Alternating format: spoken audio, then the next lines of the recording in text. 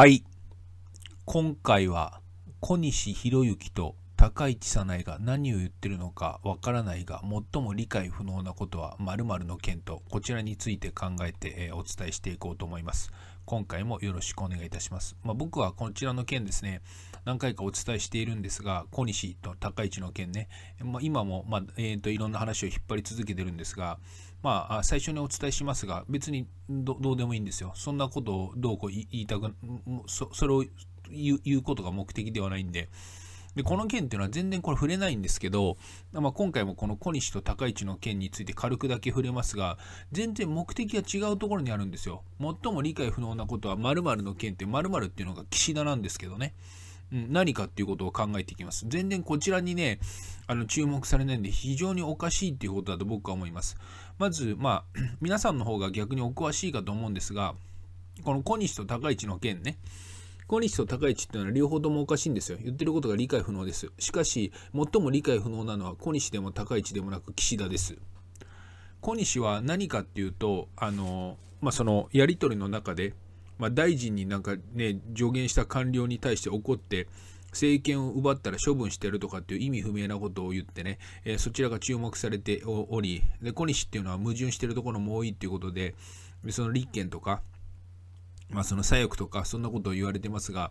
まあ、おかしいことだらけなわけですよ。で、小西っていうのはおかしいと、矛盾が多いと言ってることが意味がわからない。同時に高市っていうのも、この前もお伝えしましたが、嘘が2回バレてるっていうことで、肝心な場面で嘘をつくわけわかんないじゃないですか。うん、高市の、え背後には あの安倍がいてね、えー安倍の背後には、ま、あ外国がいるっていう図式なんですが、高市と安倍で、えー放送法をねじ曲げて、えーね、そのマスコミに圧力をかけて変更報道をさせるようなことをしていたっていう、こちらも、まあ、分かっていることなんでおかしいんですよ。小西と高市っていうのは2人ともおかしいんですよ。言ってることがわけわかんないんですよ。ただ、おかしいところの全然違う目的があるんですよ。これはどういうことかっていうと、マスコミを使ってこういうことをしてる可能性があるっていうことで、小西と高市の方に注目させたいんですね。だからこの無駄に永遠と国会でね、えー1日3億円とか使って話を引っ張るわけじゃないですか。で、えー国民が注目してですね、えー小西が悪いとかね、高市は、えーまあ、悪くないとかなんとかって言うんですけど、小西も高市も悪いんですよ。ただこの、この2人の話を永遠と引っ張りたいんですよ。なぜかというと、この話の、この2人の話を引っ張ることによって、本当の別のことの目的から目を遠ざけるっていう、そういった目的が、あるからです。本当の別の目的とは何かっていうことを考えると、こちらもニュースになっておりますが、こちらについてほとんど気がつきません。え、そんなことがあったのかっていうことなんですが、そんなことがあったんですが、そういったことに目を向けさせないために、え小西と高市の件を引っ張ってると、え思います。だから、今回お伝えした最も理解不能なのはあ岸田であるということです。何かっていうと、こういったニュースの記事が出ていたんですね。自衛隊の話なんですが、来年度から自衛隊に、えー輸血するその血液を、えーまあ、準備してるっていうこととか、8人同時に、えーまあ、搬送可能な大型救急車の、まあ、導入してるとか、まあ、移動式の、まあ、手術システムを強化してるとかっていうことが分かってるんですよ。これって何かっていうと有事に備えてるってことじゃないですか。で実際にこの岸田のこういったことに対して国民からあ批判の声が、えー怒りの声批判の声が多数出ているっていうことなんですよ。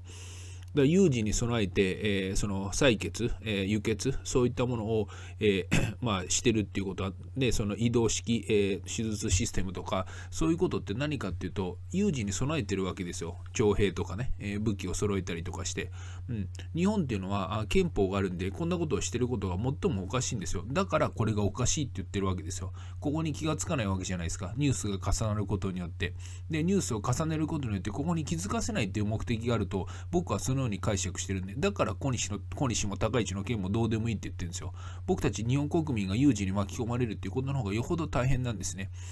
で、えー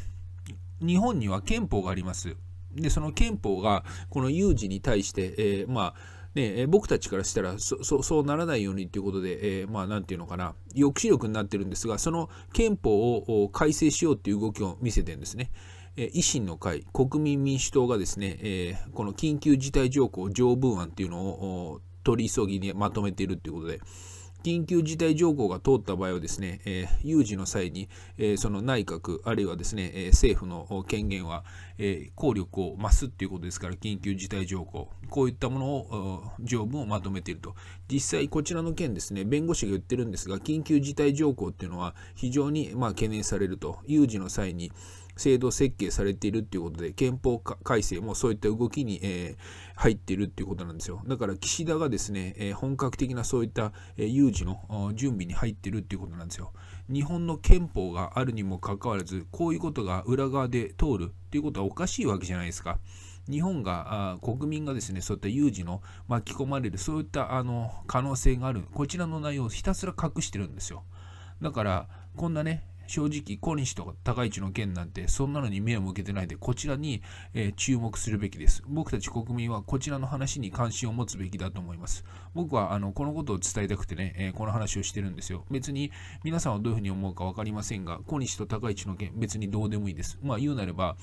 立憲民主党もおかしいし、自民党も売国だからおかしい、え、小西も高市もともに、え、議員を辞めていただきたい、立憲も自民党も、え、なくなって消えてもらいたいと思いますが、もっとそれよりもまずいのは、この岸田のこの緊急事態条項、あるいは有事のためにこういったことを裏側で分からないようにしていると、こちらを国民が気がつかない、これが最も、え悪いこと、懸念されることなんじゃないかと思いまして、こちらの件がですね、え何かしら思っていただけるものがあればと思いまして、今回こちらの内容をお伝えしてみました。え何かご参考になっていただけるもの、まあ、気づいていただけるものがあれば何よりですということで、え今回はここで終わりです。最後まで聞いていただきましてありがとうございました。失礼いたします。